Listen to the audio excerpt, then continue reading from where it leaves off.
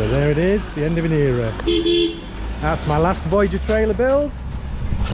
So, back to van life. Finally, our bed frame is fully fitted, our bike slide is in place, our storage slide is in place, and now I'm concentrating on fitting my three lithium ion Renogy batteries. Hi guys, we're Van Life My Way. My name's Nikki. And I'm Paul. We're a husband and wife team who have had many adventures over the years and now we're planning to take early retirement and make van life our next adventure. Coming from a background of equipping vehicles for overland and expedition travel, we hope you'll find our van build of interest as we create a van perhaps better suited to modern van life. So do come along on our journey as we build our mobile home whilst taking you on some mini adventures in our camper van, Rad the Silver Surfer.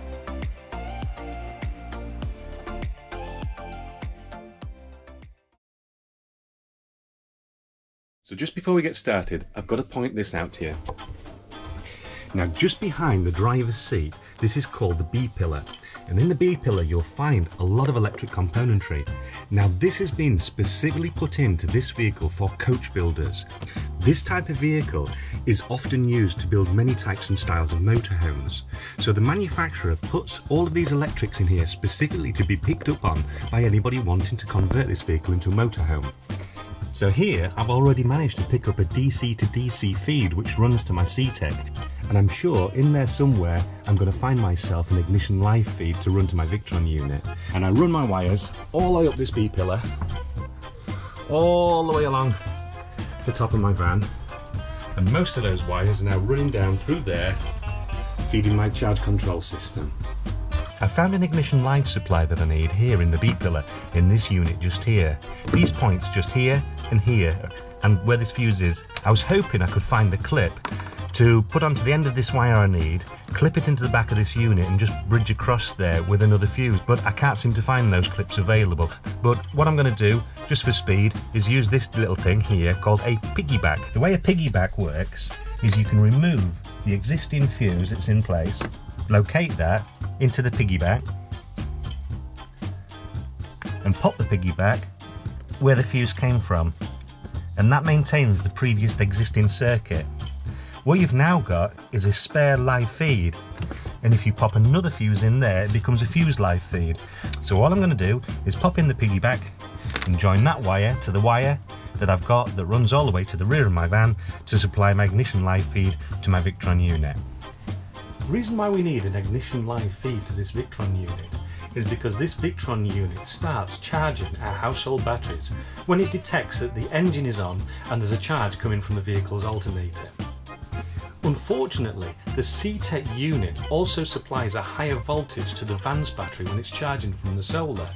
This confuses the Victron unit, thinking that the engine's running, so it turns itself on and could flatten our van battery. So the ignition live feed that I took from the B pillar finishes just here at a little junction box where I've linked it through a tiny fused wire to the H pin of the Victron unit. So the Victron unit now will only turn on when the ignition is turned on on the vehicle and the vehicle's engine is running, therefore saving our van's battery from perhaps being flattened. A couple of useful gadgets here. One is the Dymo LetraTag, mm -hmm. which is great because it's allowing us to put all bits and pieces on here like that to tell us where things are coming from. And also, an Oodie! to keep you warm. I now have my three Renogy batteries installed. This one battery supplies power to my inverter that I'm going to be using to charge my mountain bikes and supply 240 volt power to the rest of the van. It draws its charge from this CTEK unit, which in turn draws its power from the DC to DC port that I found in the B pillar, and also my two solar cells in the front of the van, which are 160 watt between them. My other two batteries supply my house power. They're charged via two Victron units, one MPPT charger, which draws its power from the two larger solar cells I have on my roof, while the DC to DC charger draws its power from the battery installed in the front of the van. With a 100 amp megafuse in there for protection, I bolted the megafuse directly to this battery terminal and cushioned it on a bit of sponge. My shore power comes in here at the side of the van, in a marine socket in stainless steel rather than the usual plastic.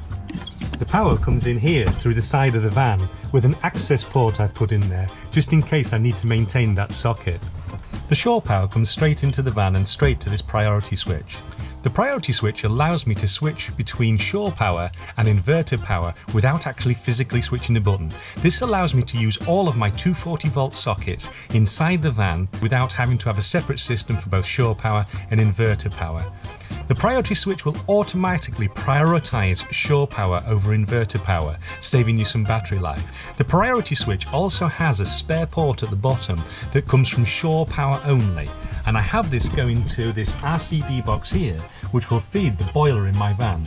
The other port from the priority switch goes straight to this RCD box here which supplies all of the sockets in my van. I chose Renogy Smart lithium phosphate batteries because not only did they fit exactly in the space that I had available but the batteries communicate with each other via this USB cable and USB ports. Both sets of batteries also communicate with these two devices up here which tell me their state of charge the amperage that's been used through them, and their voltage. The batteries I can put to sleep by pressing these buttons, so when they're not in use I can protect the batteries by putting them into shelf mode. So that's my two... So that's my two DC to DC systems and my two solar systems installed and charging these batteries. As yet we've got no household appliance running off these batteries but it won't be long before we've got one or two of those installed. In my next video log I'm hoping to have my installed water tank plumbed in and piping some water. So thanks for watching.